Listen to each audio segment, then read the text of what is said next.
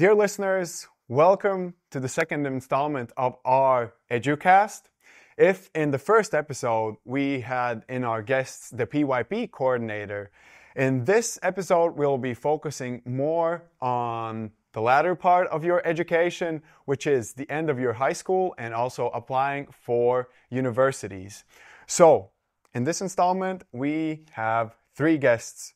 Firstly, a current IB DP student, Esther Pole, who is successfully accepted into NYU Abu Dhabi, as well as she has participated in many state Olympiads and gotten very good scores, and also is waiting to receive a prize from the Prime Minister for her academic excellence. Secondly, we have Kata Fredheim, who is uh, the VP of Strategy, as well as Associate Professor in Economics and Business at SSE Riga. And lastly, we have the IBDP Coordinator for ISR, Miss Emily Buckland, and uh, me. So, uh, before we start, many times in the introduction, I mentioned the IB program. So, Emily, first question goes out to you. Could you please further expand for our dear listeners what is the IB program as a whole?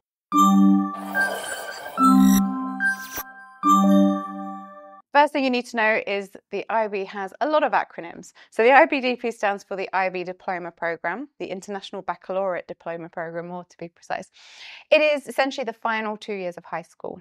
Um, the purpose is to be an academically rigorous, challenging program. Um, it's all about having both breadth and depth.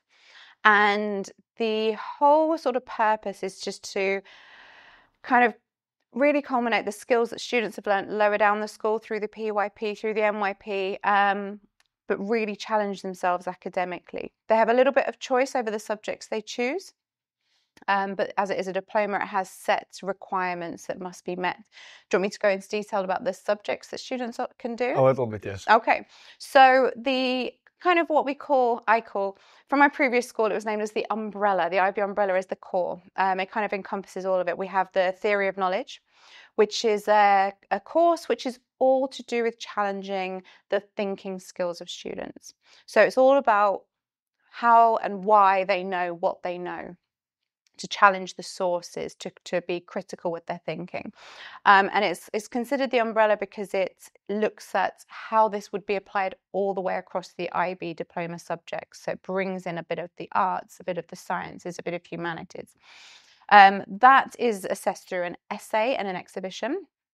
Um, alongside that, in the course, students have to do an extended essay. This is a super challenging part, and I'm sure Esther will enjoy talking about this later.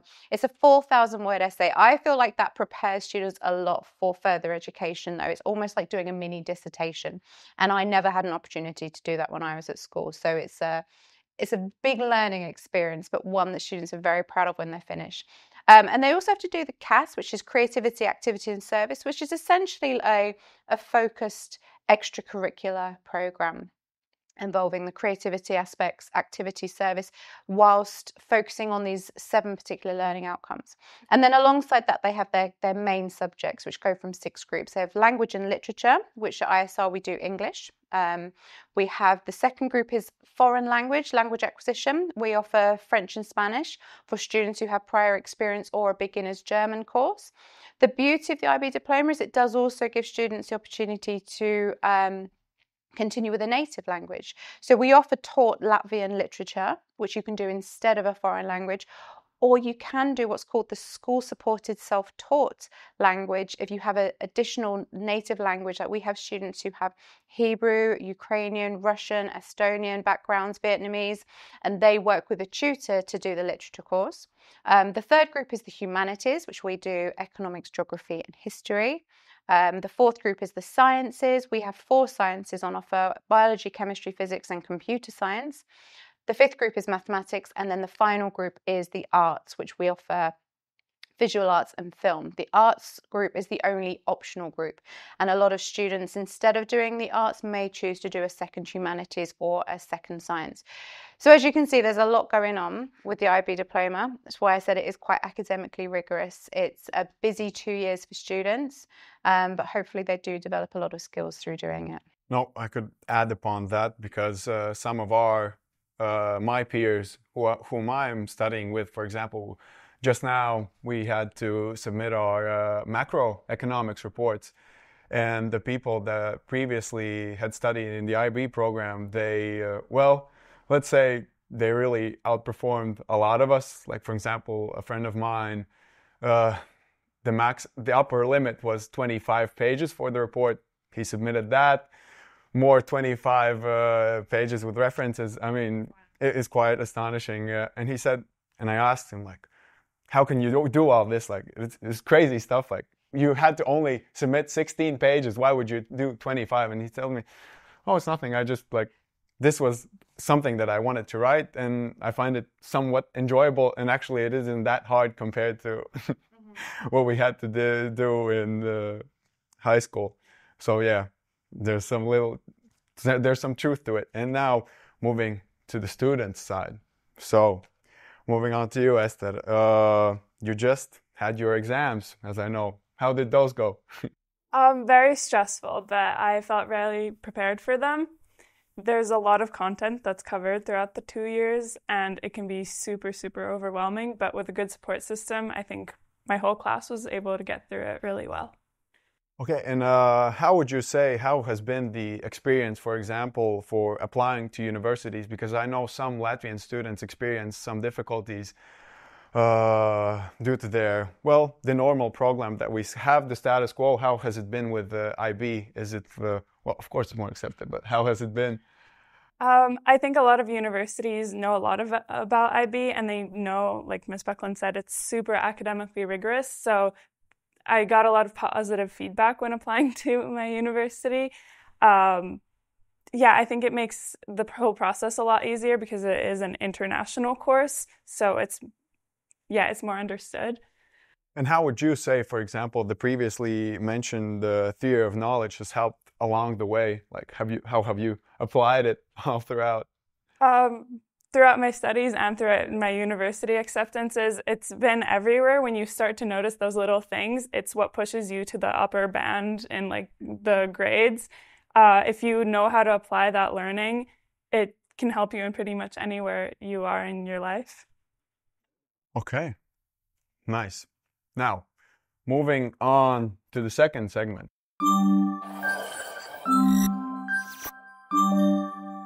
So, you talked about applying, for example, to university, and now let's gain some kind of a different perspective from the university side.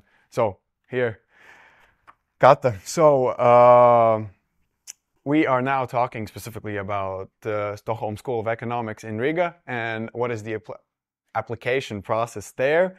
So it is uh, a university right here in Riga, which is being taught in English. We have a big international community, and uh, our main goal is to aid, uh, well, Baltic's competencies and, uh, well, to our development.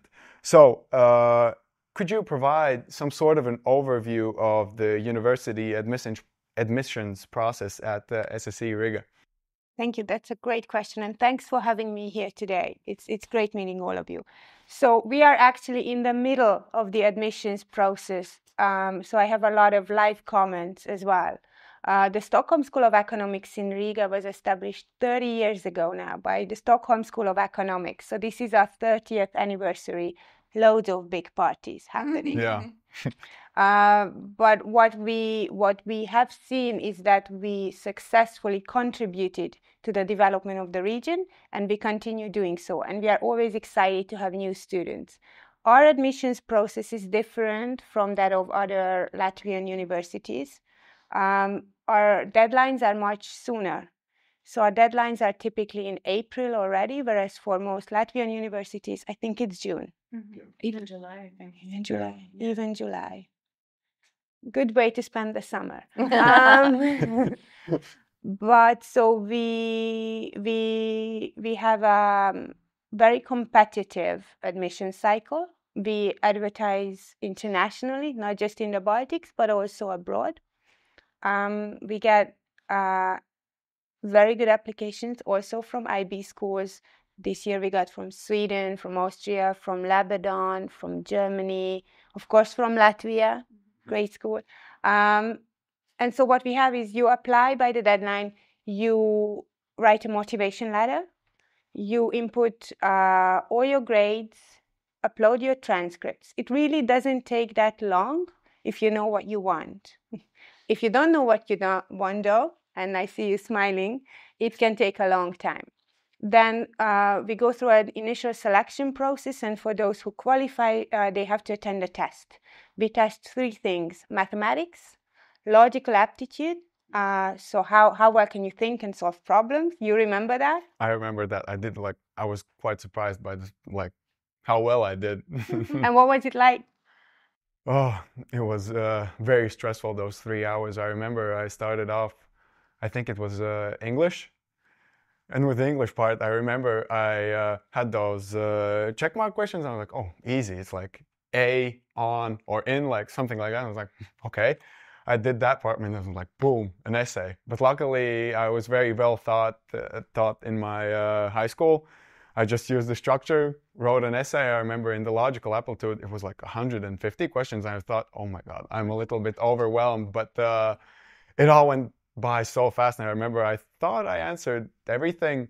But yeah, the mathematical questions, is also like, it more tests your speed and the speed of your thinking rather than, uh, for example, how well you know it. Because when I was preparing, I saw that there are some kind of like correlations, like you have to understand the math behind it. Like you can see those things, for example, in logarithms or, uh, yeah, you just have to see it. And there's like patterns. And it is more about that, but it was quite stressful. But I really liked, for example, the interview process. That was nice. That's because you got to the interview stage. Yeah. So when when when we, you do the test, then we again do a selection round. So English, mathematics, and logic, logical aptitude, and then um, we filter out the candidates who who do not meet our criteria, and then we interview people.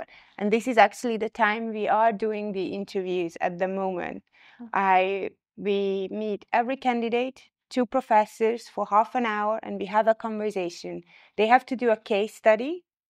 So they read a case uh, prior to the interview. It takes about 90 minutes. Uh, it's about 12 to 20 pages, and they have to think about a business problem and think about what they need to do with that problem. And then we spend the rest of the time learning about the candidate and why they're interested in economics, what they know about economics, what makes them tick, how are they special. How important is academic performance uh, compared to other factors such as extracurriculars that you're involved for example sports arts music?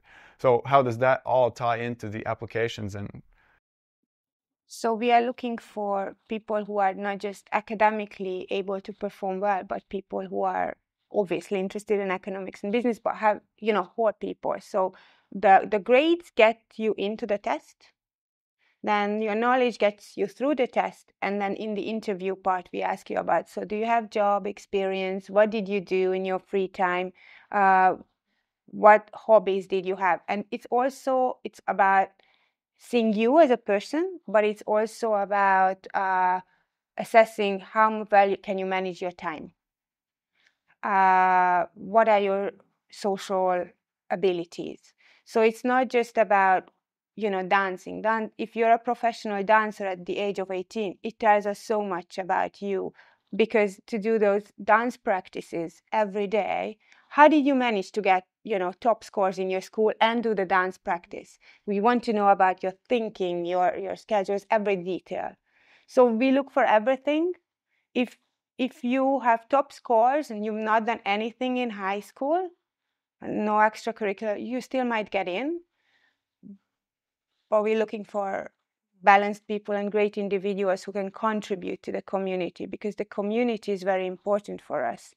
So the moment you enter SSE Riga, you become part of this very close knit community. We only take about 140 students a year. Uh, you will get to know your classmates within the first month. After t- two months, you know your second years, and soon you will know your third years as well. And then you get to know the alumni community, which is your best network.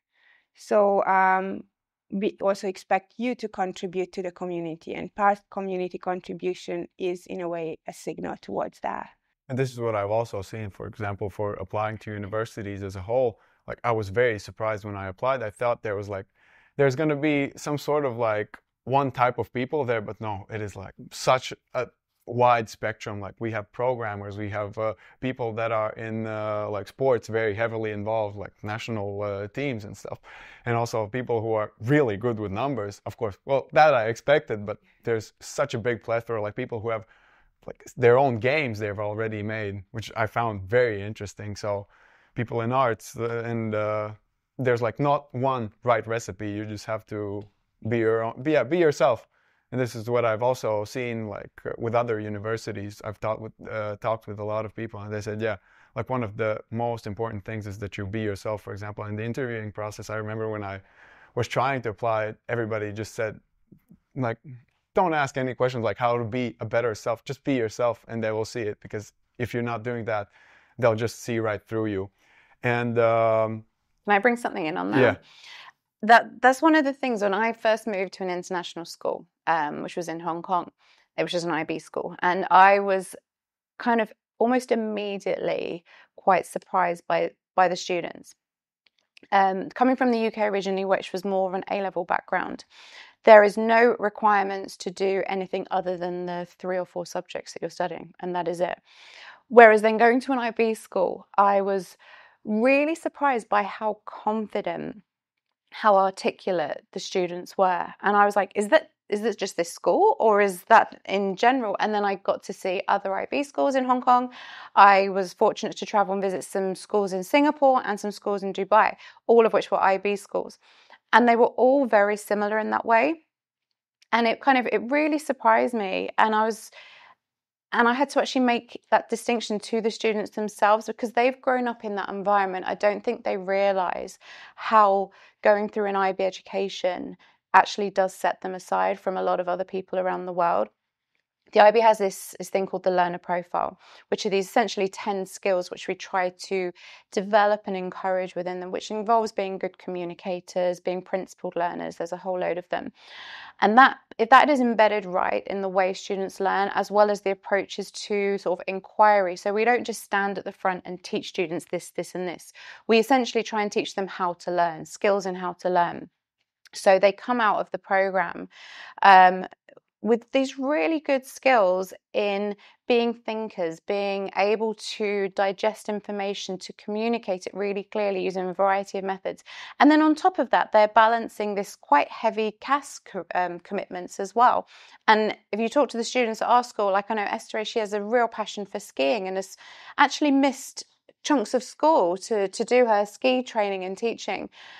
But that's the whole point about being these balanced individuals. And then they go to university where the academic side might step up a bit but they've got those skills that makes them these balanced people but also real people. They have personalities they have interests and they can communicate that and i think that's what makes our ib learners really shine when they when they go on to education in the future I have to completely agree because, for example, while whilst I was still in high school, I was uh, competing in academic rowing, and there are some skills that you just cannot get from school. Like, for example, how to dig deep, how to dig deeper always, uh, maybe in when times get tough, how to stick out, stick through, and what is teamwork as a whole. Because like academic rowing, you have to be synchronized, and you you have to really understand the other person. You just can't go on your own and this has contributed to my teamwork as such and i believe that doing stuff outside of school is really important also to like create your profile and uh, well become a better person in a with a broader range of uh, experience this, that you've uh, had. And maybe this this is also with uh, one of the questions that i have. How would you say students could uh, more effectively communicate their interest and what it has taught them? So they don't just say oh I've been a skier. How would they need to articulate themselves maybe a little bit better? How to like say what they had learned from it, or what to do from that. Not to just give the dry facts. Yeah, this was these were my grades. Yes, I was a skier, but like how to maybe. So during the interviews. Yeah. Yeah. So I think we make it quite easy because we get for each student say 20 pages of you know recommendation letters motivation letter and we actually look through it so we come to the interview prepared and we know exactly what we want to know about. So i'm a rower too by the way. Tell me about your academic rowing experience and you tell us and then we ask follow-up questions. So tell us about what you learned about it in terms of teamwork etc so we tease it out but it's of course, one of the things we are assessing is the ability to reflect on yourself and your skills and your place in the world. And so, the more prepared you are for that, it sounds like this is something that aligns, the better you perform during the interview. And maybe uh, a question regarding IB. Have you, in the interview process, have seen how, for example, the IB students differ from other types of education, for example, the normal one that we have in uh, Latvia? So I don't know what the normal one is because there's such diversity even within Latvia. We get we get many applications from regional schools and of course the gymnasiums, but also from any other school and then IB and then abroad. So I don't know what is a normal school anymore. but um, where I see IB graduate students really standing out is their ability to to express themselves and to think about their role in society. Mm-hmm. So when they talk about uh, economics, for instance, which is something we ask students to do for obvious reason, reasons, right? And business, uh, they are able to to sort of see the connections, and that is something we really appreciate. Uh, they also do well on the case studies. I don't know if you do case study practice, yeah, but they are not don't seem to be those students who see it for the first time, mm-hmm. which we take into consideration. But that also makes it a different kind of conversation. Could you add upon that? Case study? You've done you it? Economics, didn't you? Uh, we do a bunch of case studies. We focus a lot on applying, well, we have the learning and we focus a lot on applying it to the real world and what is actually happening. So in economics, we had to do um, like three big case studies that we actually submitted to the IB. And so I think that's where also that experience comes from, like he was saying before about his uh, fellow uh, course. so, what was your favorite case study? Um, I did one about um, a Canadian tax on beverages. And um, that one was super interesting because it wasn't just like the direct implications of that, but there was so much that it affected, and there was so much that I got to learn. And I don't know, it was really crazy to see, and it opened my eyes to more of what the field is.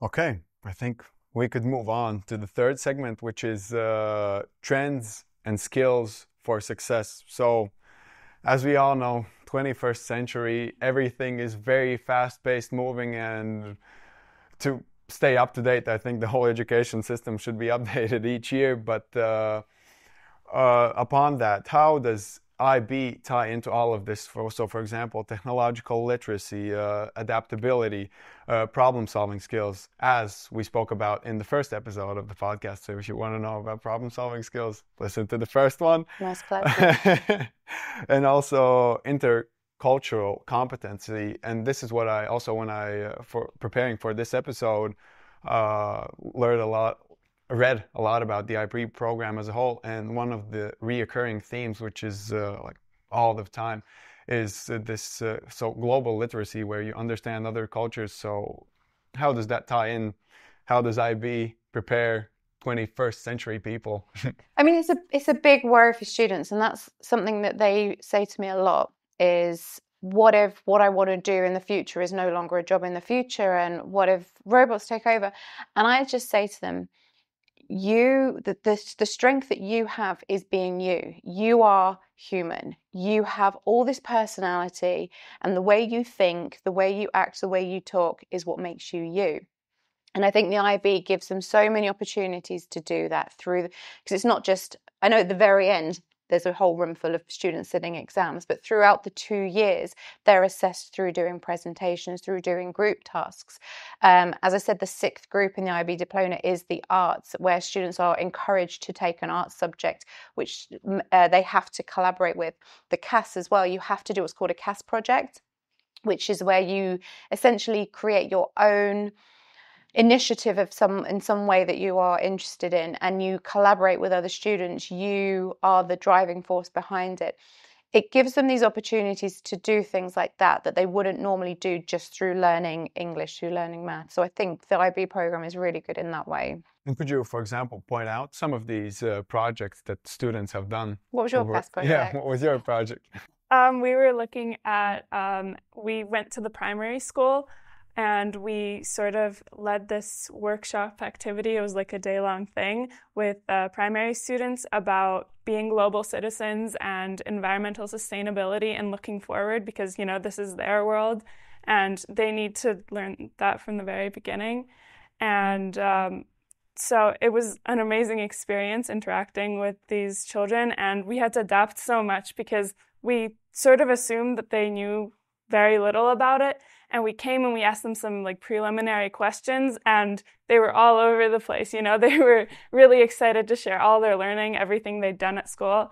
And so we had to uh, adapt a lot and we ended up taking some very interesting uh, like perspectives and i think it was a learning experience for both us like the group that uh, did the CAS project and also the kids we worked with. Yeah, I remember also in the 11th grade, me and my classmate made this sort of a project, and it was I remember uh, during like the independence whole time, independence theme. So during November, and that project also taught me a lot. We firstly we went to like uh, Riga Brethren Cemetery where we cleaned it up, and afterwards went to the museum. But the whole like uh, organizing it and that taught really a lot about how important contacts are. Because for example, we tried to reach a certain uh, grocery store chain, but they didn't respond. So in the last week, we had to find somewhere where to get the food for the people. So I think these kinds of projects where you have to work together, uh, they're very important for like actual practical learnings. Yeah. Make mistakes. Yeah, it's yeah. really important to make mistakes and be like, that didn't work. Okay, how can I won't we? be doing that yeah, again. and, and learning from it, and all of those skills that they develop, which are completely done outside of the classroom, just make them these kind of well-rounded students that hopefully are ready to face things in the future. It gives them that bit of life experience. And I think it is like the fact about the big I think plus about projects is that you have to work with other people, Mhm.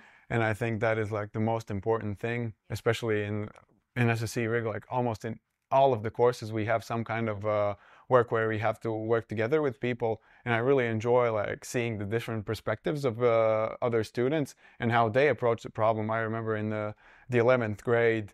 Uh, me and uh, one friend from my school, we participated in a hackathon, and we didn't have a team. We did, we were just two, and we got I think four other people for the project, all from various different backgrounds. Uh, we had a guy who was uh, an SSE Riga student. We had a geologist who was uh, uh, already way past like uh, college, university times. We had uh, a gentleman from Turkey. So all of these different perspectives, you have to learn to listen to other people as well as take their perspective into mind because I think if we learn to listen, see the other perspectives, the solutions will be a lot more well rounded and you won't try to speak your truth and only stick to that. But if you can listen to other people, accept their truth, it will lead to all around a better result. So I think these team projects are very important yeah. for learnings and uh, for future development. Yes. Oh, good segment.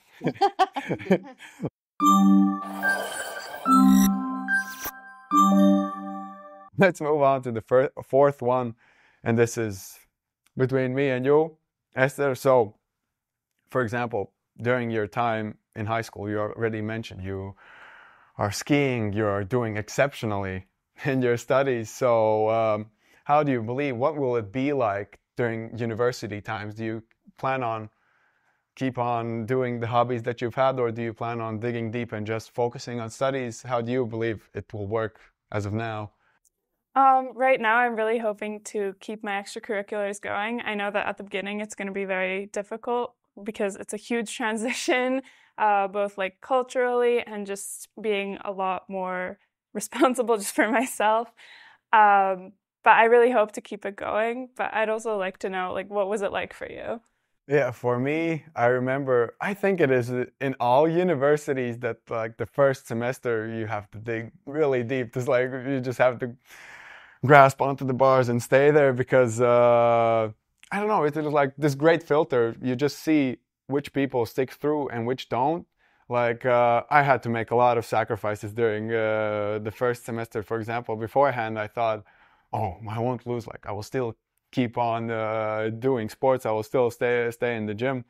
But then these priorities changed, like and like I just had to stick through it. Like uh, I know in our school uh, for this year in particular, it was uh, like four courses at the same time, and all of them were quite different.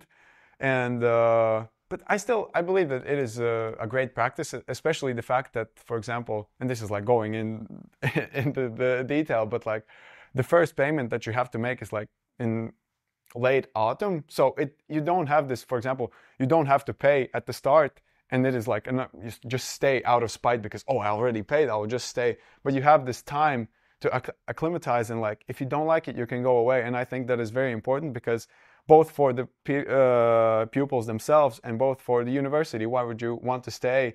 Why would you want students to stay that aren't really enjoying the subjects that they are being taught?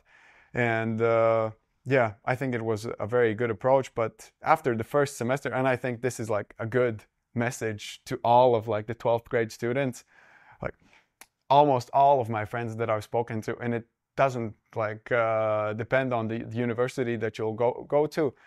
The first semester will be hard, but you just have to stay tough, stick through it, and uh, it will afterwards it will be a lot more Okay. It's interesting you say that because I've heard for students who've done the IB diploma that their first semester of university feels easy in comparison to what they've just gone through. So I don't know. Let's wait and see. okay. You'll have to report back to us.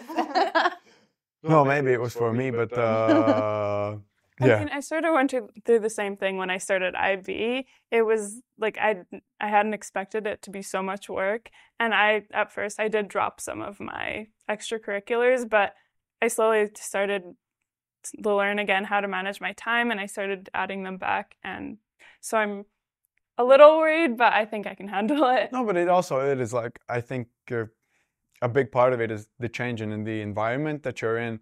So, okay, you have to just slowly settle in. It cannot be that fast and it is only natural that this is this whole environment, the new people, new everything you've already grown accustomed to. For example, I studied six years in one school, and then now it is something entirely new new teachers, new staff, new new everything, new culture also that you uh, have to get used to. So um, I think it is just natural that maybe it's a bit hard at the start.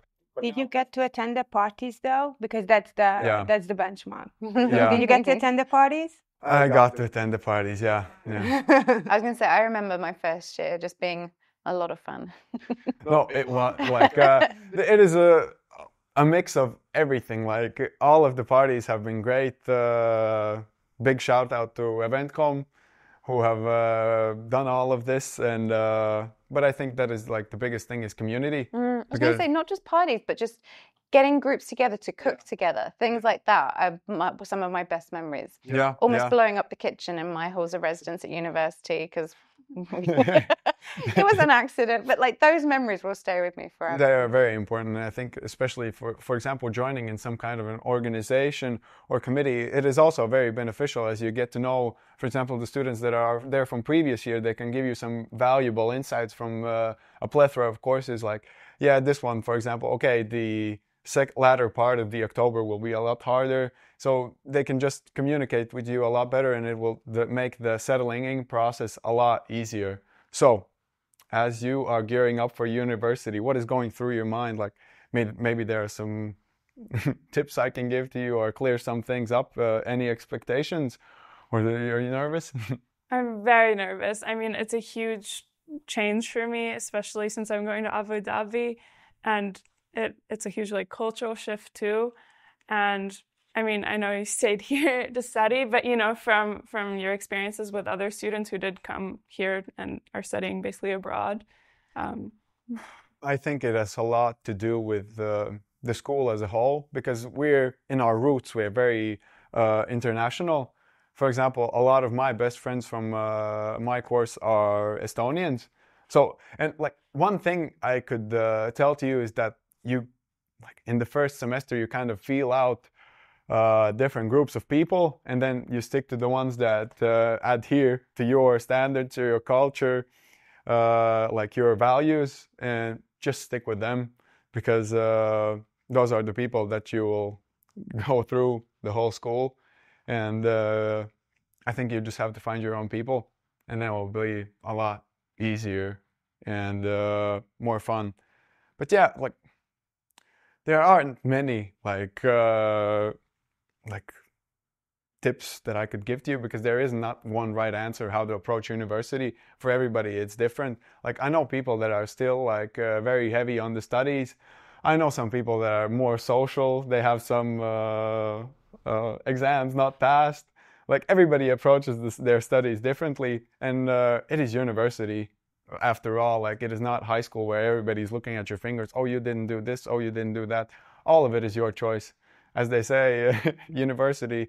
Well, it is not really pushed up onto you. It is just your decision. So you can approach it how you want it. I know some people that are uh, just like, oh, I won't write this exam this year. I will write it next year, simply because they want it. So you just find what works for you and you stick to that. For me, uh, I've found that uh, never, never, ever uh, fail an exam. The re-exams will uh, make it harder upon you, but uh, yeah, just find what works best for you, and there is no one right recipe for studies. And, and this, if I can add to that, this yeah. is actually something I research integration, especially for uh, students in higher education. It's not the formula. It's important to learn the formulas, very important. but it's not the formulas you will remember, but the people, the experience, blowing up the kitchen, the friends who you know will be there at your next graduation or wedding or funeral or something like that. Not to be gloomy. So I think it's about finding your people mm-hmm. also that will make you feel like you belong to that community. One tip I was given was have one good recipe that you can knock up at any time that would be like something that's quite a, a social thing, like fajitas or something, and people will want to come. As you've got, you've got that one good recipe, you can just like do it anytime. That kind of saved me a lot. Are there any for more tips about integration as such, or was that it? You find your people and be active, be active uh, in communities, in in in committees, uh, working groups, whatever you choose to do, and pursue your passion. I think don't forget who you are. So like skiing, if that's your thing, find a mountain. Yeah, find your mountain. Don't give up yourself even though it's a new environment. I think it's important. And if you need, don't be shy to uh, use the the help you need, whether that's someone in the administration or faculty or psychological help. That is something that, for instance, we provide to all the students international. I'm jumping straight to academic advising after this, for instance. For us, all the students get a specific faculty member they have to meet four times a year in order to get them settled. So use all the available help you can get and then decide. And have fun. Have fun. Mm. Have fun. That's very important. That's very important. As we say in SSE Riga, study hard, party hard. I know some years ago it was study hard, party harder, but uh, we've changed it to study hard, party hard. So it's equal, equal parts, equal parts of both. And I think on that note, closing statement, key takeaways, and final thoughts. So, out of this whole experience, what will stay in your mind about, for example, transitioning from high school to university? Definitely the forging connections thing. I think that's it's not the first thing my mind went to when I was thinking about it, so I'm glad to have that insight. For you, I think it's for students, particularly who've done the IB diploma, just to recognize their achievements. It's a really hard two years. And I think because they are surrounded by people also doing it, they don't realize how miraculous their achievements are. And just to recognize that and just realize that will prepare them well for the future. and also I think like play at your strengths, for example, which is uh, the communication part and understanding who you are as a person. I think that was the thing that really uh, resonated with me about how it is very important to stay yourself, to be able to communicate. The teamwork also, that was, yeah, that was for me. And look beyond the immediate so look beyond the immediate environment look for case studies or learning experiences to make connections in other parts of the world. Keep keep finding new things about society and and try to contribute to those. I think is something that i really appreciated. I learned about the ib system as well. And thanks for having me here today. What about you? For me what thought. did you learn? Final thought regarding ib uh, it was mostly uh, something that I knew but didn't know why. For example, why they're such good uh, report writers, why the communication with them is so easy, uh, things like that. So it was a little bit more cleared things up for me and uh, about IB as a whole, about how good it is for universities and this uh, global thinking that it encourages in their students. And I think that is one of the most important things in this ever globalizing world that we live in. So I think on that note, thank you all very. Thank I you for express my gratitude to you for coming. This was a very interesting episode. And uh, dear listeners, we will meet you on the next one. Thank you for listening to this one. Share, like, and thank you. Meet you on the next one.